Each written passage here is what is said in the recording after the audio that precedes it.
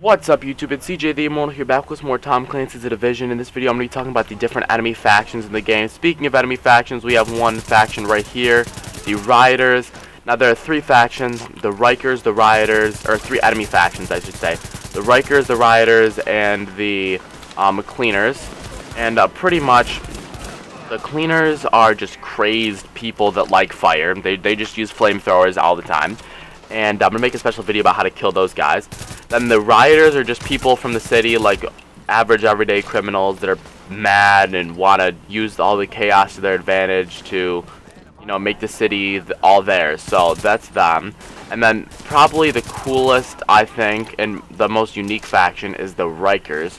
Now the Rikers are escaped uh, prisoners from Rikers Island, which is a place where they keep super bad, terrible prisoners like we're talking like these guys are like serious prisoners. So that we're talking about like the crazy prisoners. So um, those guys are probably my favorite just because I, I, like the whole concept of them. It's pretty cool. I really like them. Rioters are pretty much where you're gonna fight early game. There are a few. There are a few cleaner missions, but just get used to fighting rioters. And then Rikers are really big in the dark zone because you know um, they the, there's no like occupation there, so they just kind of do whatever they want.